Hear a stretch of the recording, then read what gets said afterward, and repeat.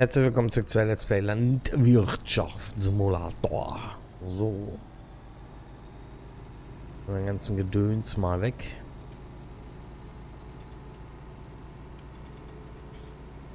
Ach. Mhm.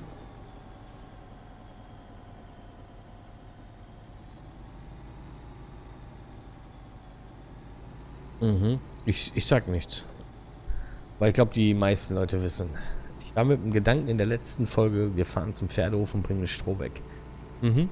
Ja, ist, ist okay. Ja. Auf jeden Fall bringen wir das Stroh weg. Ja, weil wir ja auch Stroh bei uns haben. Mhm.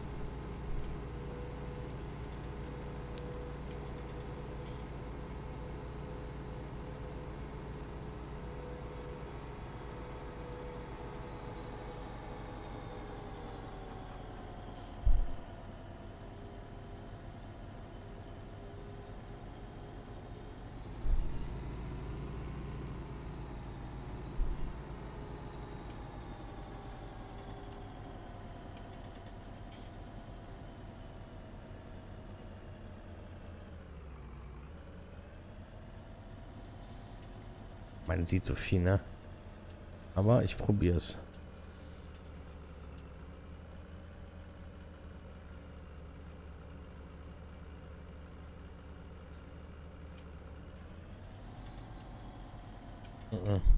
Oh. Warum nicht? Ah. Wie kann man sich denn so hardcore, so minimal verschätzen nur?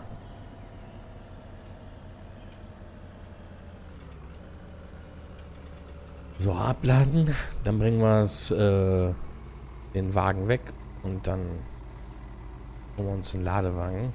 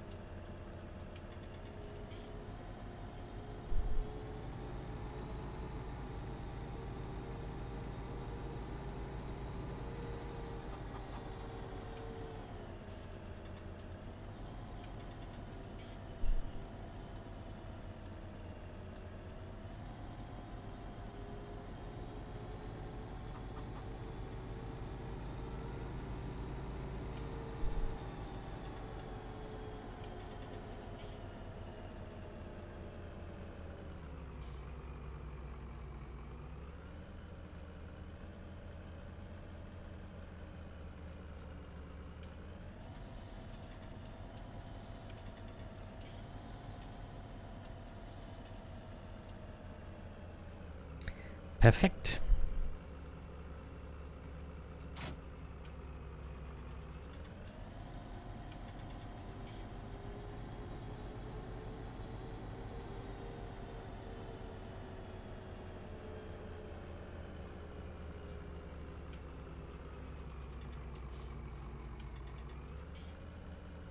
Oh, hier lang.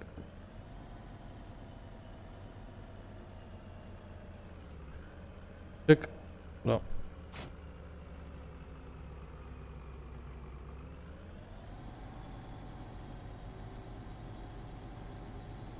Also muss ich gleich mal gucken, ob ich Allrad brauche für äh, Silage einfahren, äh, für Stroh einfahren, weiß ich nicht. Müssen wir gleich mal gucken. Äh, bin mal gespannt, ob er das so macht. Habe letztes Mal, wo ich äh, das probiert habe, auf jeden Fall mitgemacht, das weiß ich, aber ich werde das jetzt mal probieren. Ob er es auch ohne macht.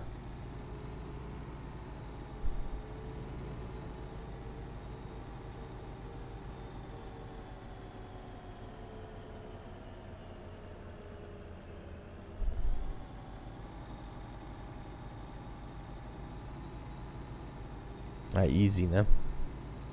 Also was ich muss ist, warte mal. So. Wenigstens einen kleinen Gang nehmen.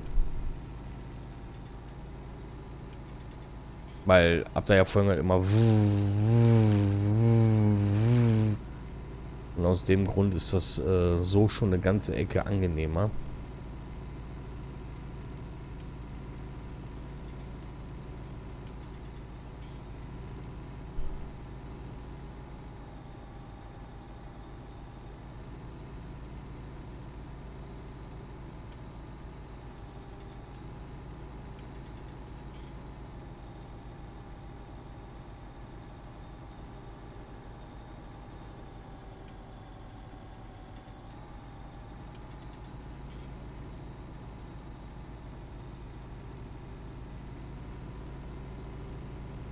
Man braucht ja nur unten auf das Slap achten. Ob wir Wheels Wheelspin haben auf der Achse. Wenn nicht, dann äh, auf der Räder. Dann können wir einfach durchziehen. Weil jetzt erstmal überlegen, wirklich die KI main zu lassen. Aber wie soll, jetzt ganz ehrlich, wie soll ich das schaffen, das einzufahren und dann das Ding? Ich muss noch dieses automatische Abholkram da haben, wirklich. Das brauche ich auf jeden Fall auch noch. So, weiter geht's.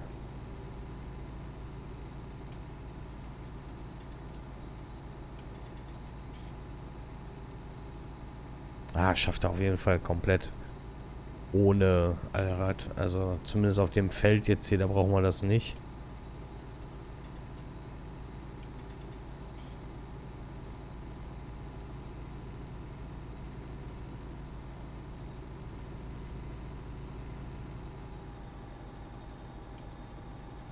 Das ist ja Bullshit.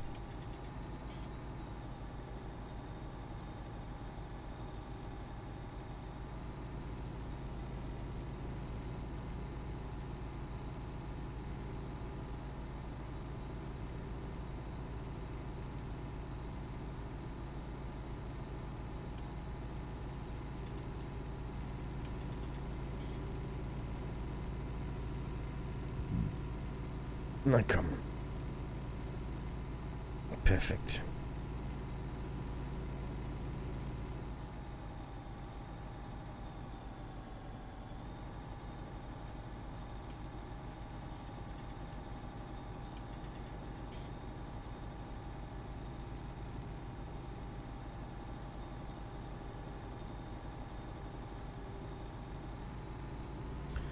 Wunderbar.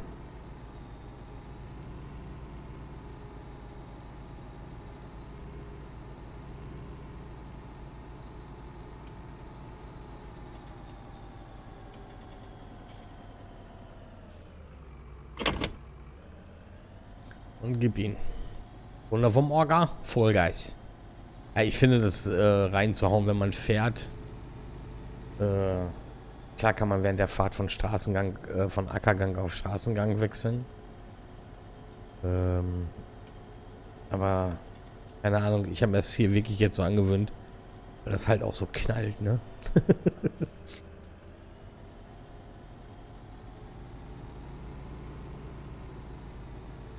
So, gib ihn.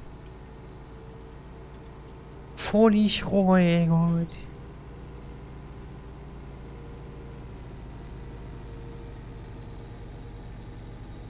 Und da sehen wir jetzt 100% Leistung. Mehr geht nicht. Ja?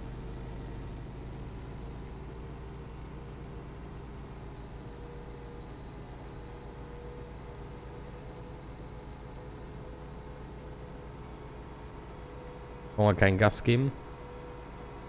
Wieder beim Spritverbrauch. Ja, schön niedrig. Gibt kein Gas. Schön rollen lassen.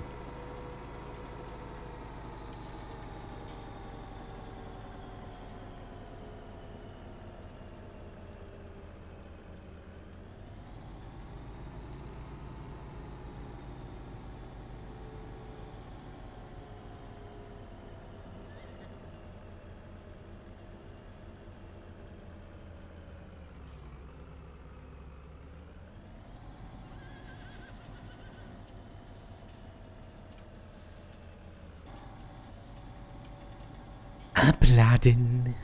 Käffchen. Prost.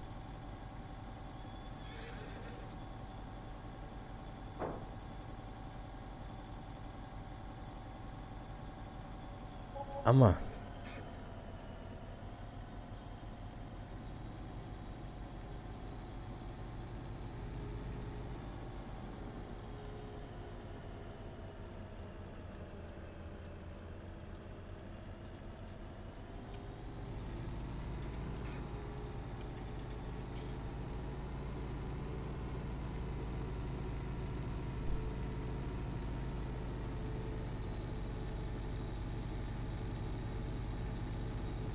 Glaube, eins musste man noch flügen, ne?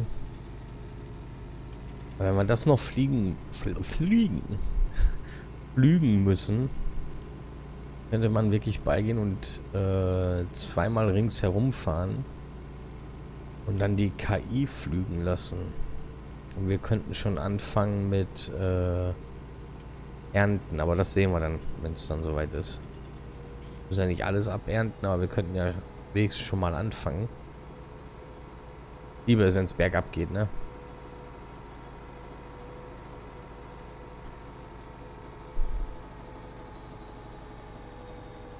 Scheiße. Ich weiß jetzt gerade gar nicht, wo ich rein muss. Aha, hier, war doch richtig.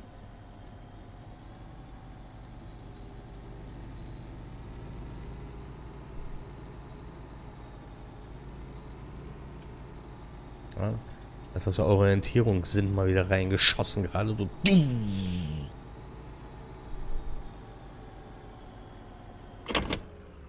Weißt du, weil er dann genau so ein Geräusch macht, keine Ahnung. Finde ich jetzt nicht unbedingt so schön. Aber kann man natürlich auch machen, ne? So, äh, blub, blub und gib ihn.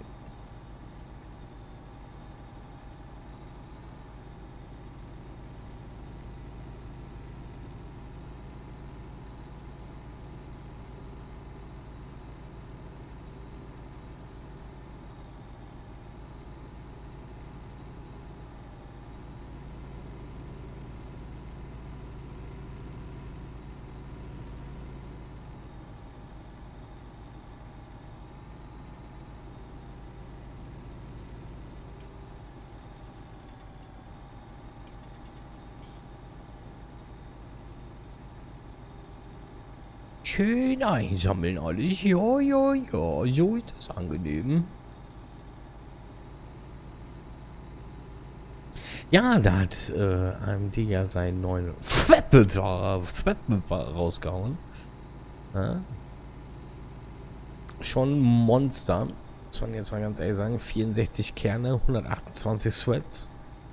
Das äh, nennt man Monster, ne? Aber 4 1000 Euro. Ja.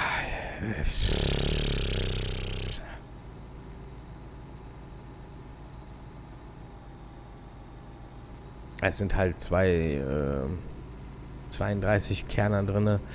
Ja, ähm, keine Ahnung, Leute. Ob die Preise gerechtfertigt sind oder nicht, aber äh, bin halt auch einer, der da nicht so drauf achtet, wenn es um neue Hardware geht. Das ist so, ja, bin eigentlich der falsche Typ dafür, sich darauf ähm, zu äußern. Ich sage nein, es ist, wenn der Menschenverstand reinkickt, 4000 Euro für eine Desktop-CPU. Nein, danke. Also nein. Äh, da muss normalerweise der Menschenverstand sagen, nein, aber ja. Hm. Hm. Was soll man dazu sagen? Ne?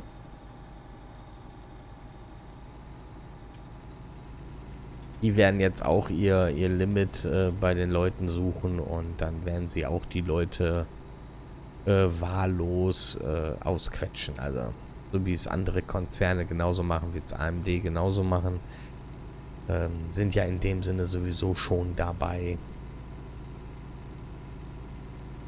Weil wenn ich immer alles nach Leistung beziehe und nach Preisen, dann äh, müsste ja ein GT2 RS äh, Billionen kosten. Also daher sind für mich diese Aussagen immer falsch, Leistung gleich mehr Geld etc. bla bla und ja, weiß nicht ist ein langes Thema, da kann man sich viel drüber unterhalten, aber ich finde, da muss... Es müsste normalerweise irgendwo jemanden geben, der da eigentlich mal einen Riegel vorschiebt. Es ist egal welcher Konzern, ja.